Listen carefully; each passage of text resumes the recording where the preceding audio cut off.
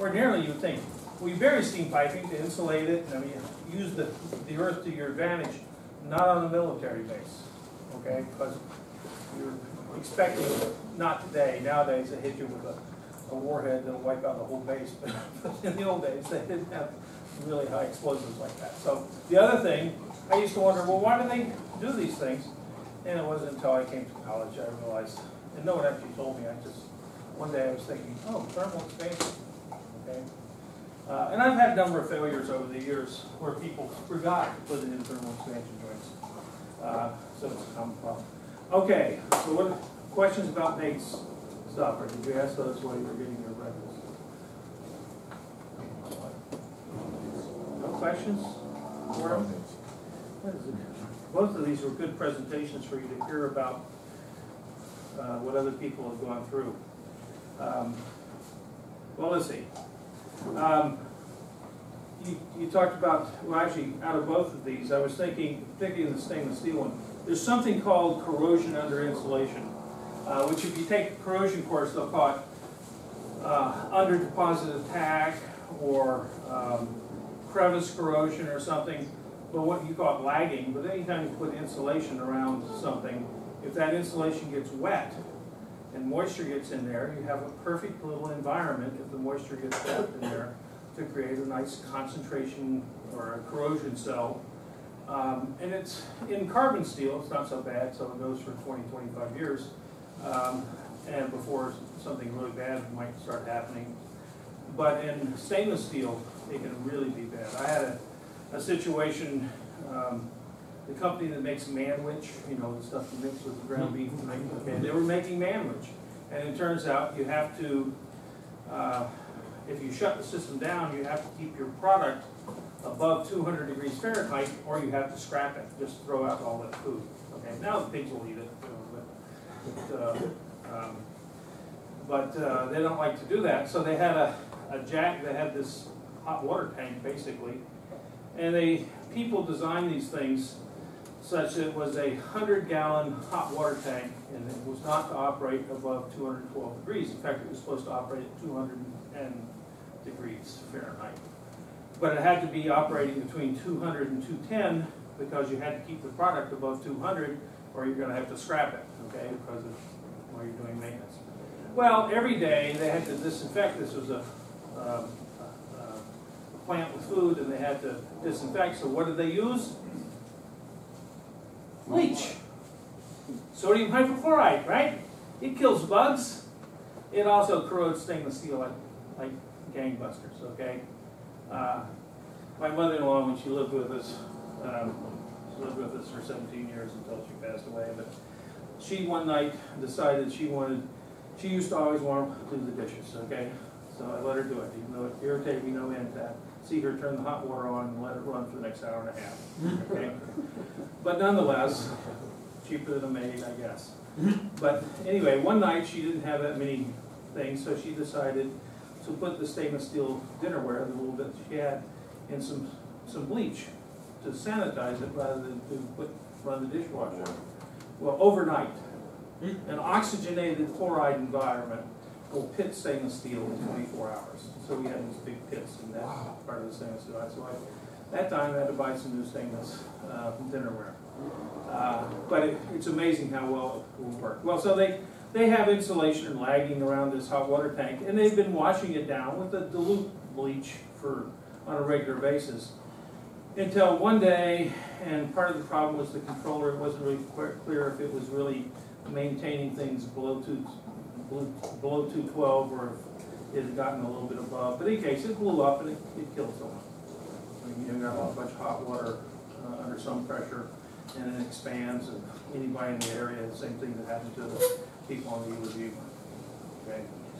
Um, So corrosion under lagging, so when you talked about, the reason I asked the stainless steel, uh, you mentioned something about, I, I should know what kind of. Wait, it no. probably three oh four. Charging system on carrier. It's three oh four, most likely, three oh four stainless, but we'll get to that later. But I mean, stainless steel is a serious problem because you get stress corrosion cracking, okay? Carbon steel, you don't get stress corrosion cracking, but you'll get general corrosion. Now, one of the problems the Navy has is, originally, back in the nineteen fifties, they built the ship to last thirty years. By the nineteen eighties, they were starting to push them out to forty years. And now, one of you actually even said it, twenty-five, you said go for another twenty-five, I think you said, Nate, right? People are looking at fifty years for a ship. Do they actually have, a- is the Ford the new hull that replaces the Nimitz? They have someone finally, after fifteen years, bit the bullet and spent the fifteen million dollars, have they built ships out of it? There's It's still one, in progress. there's one floating now, still mm-hmm. not finished. Yeah, it's in the water, but estimation. So they have built one, I think okay. two thousand sixteen delivery. Okay, fine, so they finally did build it. Um, they just couldn't afford it, the limit skating away every year. Um, in any case, the, uh, so is the Ford a heavier displacement than the Nimitz? The Nimitz was getting up of over ninety-five thousand pounds. I think it's over a hundred, like hundred, hundred ten. Yeah, okay, well, yeah, okay. I know it's, it's definitely like larger, but I think it's also heavier. Yeah, okay. In any case, um, where's that going? Oh, the- so anyway, they, they decided, they've decided to extend the, the life of the ships, and as they've done that, there was sort of a transition region there in the nineteen nineties where they haven't really, hadn't replaced all the piping with more corrosion resistant piping, but carbon steel piping, you could let it go for thirty years, and you could have enough original thickness and the general corrosion you would get, well, after thirty years, you just scrap it.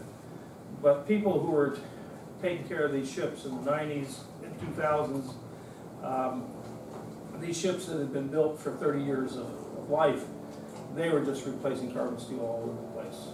And that's why they've gone to titanium and Lenel and other things. And Seawater piping on, on the new ships, are they still carbon steel? Probably not. But anyway, you're not gonna get fifty years out of carbon steel. You're gonna have to come in and replace the whole piping system, which on a ship, pain. Uh, so there's some thoughts there. Um, I can't think of anything. Okay, uh, let's, you wanna start videotaping? Okay, we're on? Oh, so- Okay, that's fine. Okay, so what I'm doing right now is I wanna just, we talked enough about hydrogen embrittlement, but I, there were a couple of points that I basically am taking things out of, and this is on your, on Stellar, but this is out of John Lippold's book on welding metallurgy, and actually, he's got a very good chapter on hydrogen embrittlement, okay? Um, and there's, what basically happens is the hydrogen goes to the crack tip, I think I've discussed this, I haven't shown any picture, but you have a triaxially stressed region, and that's why it's delayed cracking. It takes hydrogen time to diffuse to the tip of the crack. It concentrates at the tip of the crack, and it embrittles it, and I told you, people have taken videos. They polish the crack tip, look at it in a microscope, charge it with hydrogen in a corrosion process, and then they just stretch it in the microscope. And you can see the hydrogen bubbles coming right out of this crack tip. Yep. So this was especially last week, we had the video, and you could really, you literally see the hydrogen coming out. Yep. And uh, we talked about how, you know, it's a very rapid process by which the hydrogen kind of leaves the metal and becomes that cracking. So this is apparently a, a slower, so where's the hydrogen coming from if it's a slow process? This crack propagation through hydrogen. Well, no, this is all occurring within a couple of days. Okay, so this is still rapid. This is, it's still rapid. On an atomic scale, the, the diffusivity, well, we might as well go through the numbers. Sometimes it's worth going through numbers. Um, if I, well, actually, it's, it's right here. No, it's not this one. Uh, but I put up some things that showed at, uh, room temperature, the diffusivity of hydrogen is about ten to the minus five centimeters squared per second. And it turns out, a guy named Albert Einstein kind of looked at all the diffusion equations. You got the diffusion equation for viscosity, okay? And that's called Navier-Stokes equation, okay?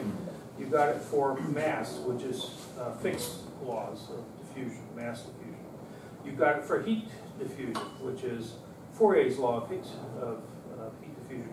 Those were all in the 19th century. This guy Einstein comes along and he says, well, these are all just diffusion processes. And if you look at the math, and I actually took in graduate school a full course in the math department, and all we did was look at the diffusion equation. And Einstein showed, and sometimes it's called the Einstein number, uh, that you can have a dimensionless number, talking about mass diffusivity, it's d squared over, or no, it's uh, x squared over dt, where d is the diffusivity. If you're talking about uh, Fourier's law, it's x squared over alpha t, where alpha is the thermal diffusivity, okay? Navier-Stokes gets a little messier with viscosity and convection and things like that, but still, you can talk about the diffusion of shear stress, okay? And if you don't have any convection, you'll end up with a similar formula. Uh, but all three of these things, um, uh, momentum, which is Navier-Stokes, mass, or heat, can all be described by a diffusion equation. But the argument of the diffusion equation is always going to be of the form x squared over dt or alpha t or whatever. And that is dimensionless, because d is centimeters squared per second times time is centimeters squared divided by divided into centimeters squared, it's dimensionless.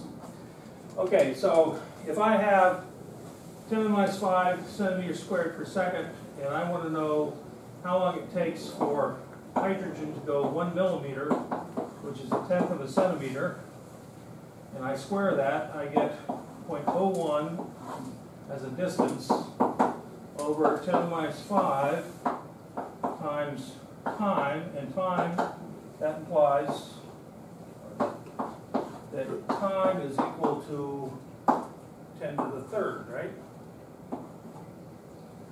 Thousand seconds, three hours, or no, a third of an hour, 20 minutes, for hydrogen to diffuse one millimeter. Is this supposed to equal one? Yeah, if, If if, the dimensionless quantity, you said equal to one? yeah, set it equal to one. Actually, in a lot of the forms of the equation, there might be a four here, there might be a pi here. Um, There's different, depending on the geometry, what you're looking at. There are whole books written by mathematicians. once Crank, Mathematics of Diffusion. And it's just solutions to the diffusion equation in different geometries. Plates, thick plates, thin plates, infinite plates, cylinders, spheres, okay?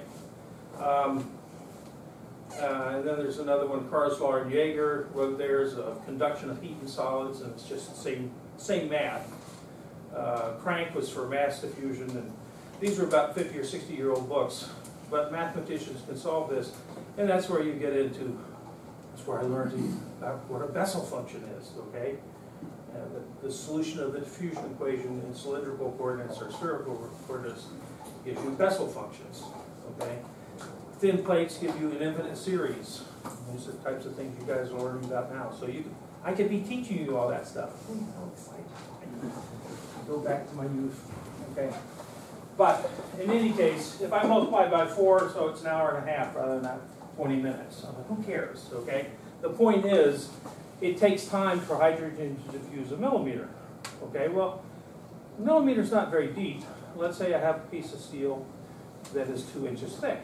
That means to get to the surface, the stuff in the middle has to diffuse one inch, which is twenty-five millimeters. Square twenty-five, this is six twenty-five, okay? It's twenty-five times twenty-five is six twenty-five. And now this becomes, um, uh, six point two five times an hour and a half, okay? Now, a four inch thick plate, it's going as the square of the distance. And now it's gonna take a whole day for something inside a four inch thick plate. And so it turns out, when they were doing some of the foundations on the Seawolf and things, they could put in a half an inch of weld metal, and they had to stop. And make sure they keep the preheat on for like three or four hours, just to allow the hydrogen out, before you put more on top. Okay, and if you're doing armor steel back in World War II, that's seventeen inches thick, they had to go slow, actually, they had to go slow, they went slow anyway because they had stick electrodes, and they weren't depositing metal that quickly. But if you didn't allow time for the hydrogen to diffuse out, you'd have a problem. I can't remember, oh, it was the, uh, the Fore River Bridge, where Quincy Shipyard used to build, be, uh, the state of Massachusetts is building a, a new, uh, uh, what do you call the bridge that lifts over? Drawbridge. Drawbridge, drawbridge, and they got some, like, I think it's shivs that are eight inches thick of a high-strength steel, highly alloyed, very difficult to weld. And I told them, you gotta stop every half inch for two hours and diffuse the hydrogen out. They said, what? Because these people never heard of going to very thick steel, you've gotta stop to give time for the hydrogen to get out of there. Otherwise, you just trap it, okay? It'll be trapped forever if you start going through the diffusion equation. You're not gonna get it out of there, you're gonna get cracks before it all happens. So, um, you have to worry about steel thickness as well. Part of the problem. Uh, and I think I, I think I told you that these people would call me and say, well, uh, we wanna weld such and such, how do we do it? And I always say, what's the composition, what's the thickness? Those are the two things I needed to know. Okay, now, another thing that we talked about, and we're gonna go over again, is this microstructure, tensile strength, stress and hydrogen. Here's a nice Venn diagram that tells you, um, uh, what, what the situation is in terms of, if you want to shrink each one of these circles so that you don't get an inter, intersection where everything's gonna crack. Now we have, uh, this one. This is actually a plot that tells you how much hydrogen you can expect from different welding processes. You go to some of the books on welding steel without hydrogen, uh, cracking. This is weld hydrogen level, milliliters, milliliters per hundred grams of weld deposit. Essentially, within ten percent, this is the same number as parts per million of hydrogen in the steel deposit. Here's your shielded metal arc, these stick electrodes. Way up here, even with two tenths of, this is percent moisture here, even with two tenths of percent moisture, which is the lowest level you can get, you're gonna be up around, um, the potential is well over hundred parts per million, but in fact, if you have your preheat and everything, you can still get things down on below four, okay, parts per million typically. Uh, Basic, uh, well, uh, these are baked electrodes at three hundred fifty to four fifty C. Uh, Titanium dioxide electrodes or lime electrodes, different types of coatings. You can be much higher and you'll get much higher, like ten parts per million or even twenty parts per million um, hydrogen. And you're gonna get cracking, this will crack HY eighty, some of this will crack HY eighty. Um, uh, If you really wanna do HY one hundred, you should be down in this range. We have flux cored arc welding, they build bridge, bridges, I remember an electric boat at Groton, I was down here twenty-five years ago, and they built a new kind of administration building where the cafeteria is, right on, right on the, the road there. And uh, they took me to lunch, and a couple of welding engineers, I said, pretty nice building, they said, yeah, it was welded with flux core, so don't jump up and down, okay? Uh, Flux is a high, it's a solid wire process similar to gas metal arc, except that it's not, it's not solid wire. The wire is hollow tube, and inside it has some of that flux. So here the flux is on the outside, here the flux is on the inside. Much more productive process, also can be fairly high in hydrogen. The lowest high hydrogen is gas metal arc. This is what you typically use, picking on the hull of the ships now. It's not true thirty years ago, but today, mostly gas metal arc. And you can get fairly low hydrogen because it's only coming from grease and moisture or lubricant on the wire and places like that. So we keep pushing for better and better controls, which? Nate was talking about. For gas metal arc, the wire is speeding through the, uh, same place the spark's coming from? Yeah, you actually have a little nozzle, a copper tip that has a hole in it, and you have a wire feeder, a little spool of wire, you got some rollers pushing it through this little nozzle, and the arc is struck to that wire. Just like, this is a non-continuous wire, but on gas metal arc, they could have a hundred pound drum of wire. I've seen it where it's like the tungsten bit and they're hand feeding in. That's wire. gas tungsten arc. So is that in the same part of the, That's even lower than gas metal arc, okay? Because you, but, um, much slower. I've got a, got something in here that has the deposition rates. I was just wondering if it's the same spot on that chart as gas metal or? You can think of it as the same spot as gas metal, I mean, it, it sort of, sort of overlaps as far as that goes. Okay. In terms of potential hydrogen. Now, we haven't gotten into it yet, but, uh, there's lots of formulas for what we call carbon equivalent. Um, Carbon equivalent is a measure of the hardenability, so you take all these alloying elements, and you know carbon will give you hardness, and alloying elements give you hardenability. Well, for welding, we, people talk about carbon equivalent. And over the last eighty years, there are lots of different formulas, this is not all of them. Okay, which is the right one to use? Well, this was developed for high-strength low alloy steels. Okay, it's got niobium and vanadium in it, because that's how they get the strength in the low alloy. Um, But everybody wants to come up with their own thing, um, in terms of carbon equivalent. We're gonna go through the American Welding Society code and show you the carbon equivalent they use, okay? Are the fractions just representing like one, you know, one part carbon, know, one thirtieth part silicon or whatnot, or the, fractions? Silicon's one thirtieth is effective at hardening steel as carbon is. I see. Silicon will add hardness to steel, similar to carbon, but at one, at only three percent of it is effective. Okay?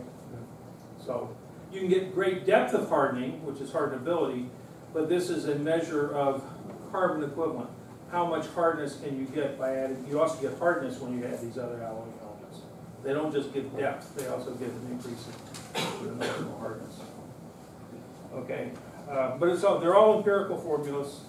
Everybody wants to own their own empirical formula. This is what I really wanted to get to, because we haven't really talked about it.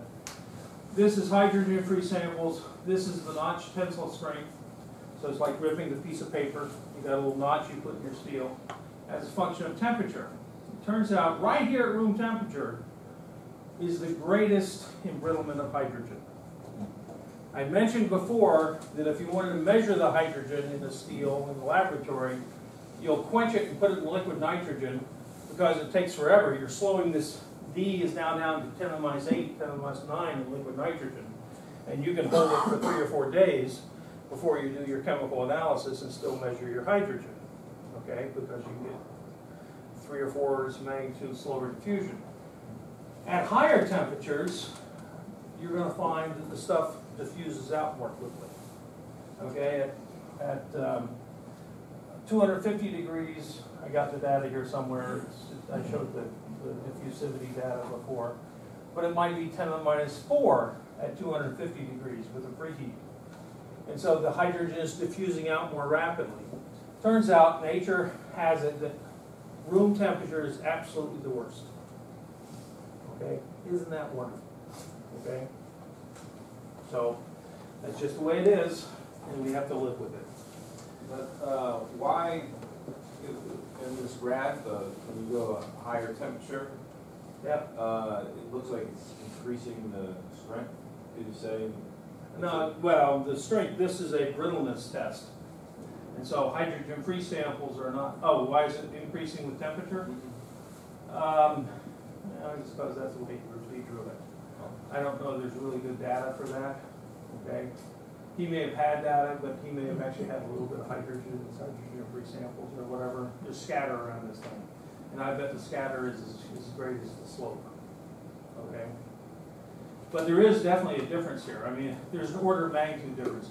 You can lose seventy-five percent of your strength due to hydrogen embrittlement. Okay? So all of a sudden, your design, which was good for fifty percent of the strength, is two times overloaded in terms of embrittlement. So, we do have to worry about it. So now let me give you an example of this, uh, in the last couple of minutes that we have, of this Venn diagram. And This is one of my earliest, um, this is microstructure.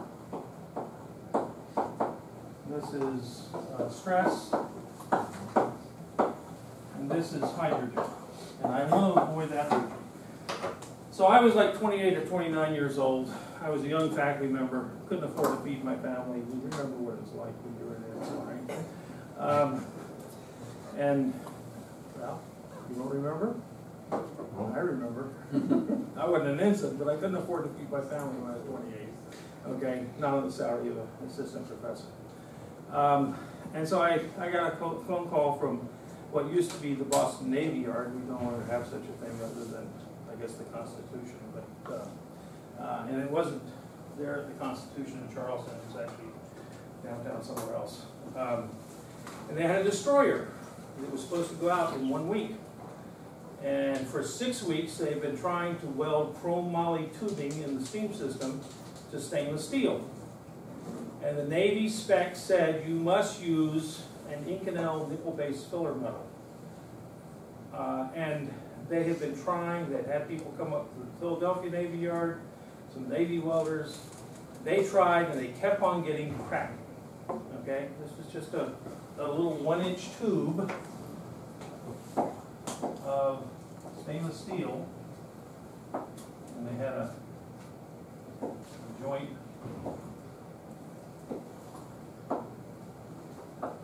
like this. okay? It was a, J groove, okay? I machined a little, something like that. And they had to make it in a vertical position, uh, cause that's the way the tubes were in, the- in the destroyer. And they had to put in a root pass, and whenever they tried to do it they Inconel, they got a crack. And they found they could do it with stainless steel, this was stainless steel to chrome moly steel, two and a quarter chrome, one moly, which is a, a high temperature steel for, for steam systems. Stainless steel is even higher temperature, but this is just a transition joint. Every time they tried it, they got cracked. They tried preheating, they tried all kinds of things, and they couldn't get it to work. So they called me, and I was only in my late twenties, and I needed the money, so I, they said, we want you to come down and tell the Navy why we should be able to do this with stainless steel and not nickel alloy. And I didn't know, hey, I'm an engineer, run into this before. So I, I stayed a little bit late, I used to try to get home at five o'clock to be with my little kids, before they went to bed. And I stay late, and I go to the library, and I find an article in the Welding Journal. Ten years later, if you weld it with stainless steel, it's gonna crack on you, because the carbon will diffuse around, it'll form some carbides, uh, with some of the things that are in, in the, uh, stainless steel, and you'll get something that, Lippold's got a new name for it, that I haven't heard before. Um, But it's basically a long-term heating, when you're at temperature in the, in the uh, ship. Over time, the carbon will diffuse, and you'll get cracking. So I knew I couldn't come and sa- tell the Navy, just forget your spec, you know, it's okay to, to use stainless steel, and they'll, they'll get, we get it out of the yard. So I come down and I have a copy of the paper with me and I meet with them in the, in the conference room. And they didn't even tell me who all the people in the room were, but I said, well, you can't, you can't, uh, you're gonna have to do it with Inconel, just like the spec says. Um, But let's talk about how, why, why you're having problems. And they showed me and I, I asked them questions about all these things. They had, they had checked the composition of moisture in the shielding gas. They had, couldn't do much about the microstructure. This, you know, this was hard chrome moly steel to stainless with a filler metal in between, and that's what the Navy had. The only thing I could think of uh, in this half hour, forty-five minute discussion as I was quizzing them and they were quizzing me, and they weren't real happy because I wasn't just willing to write a letter to the Navy saying, oh, it's okay, no, no problem. Um, What we pay this guy for anyway?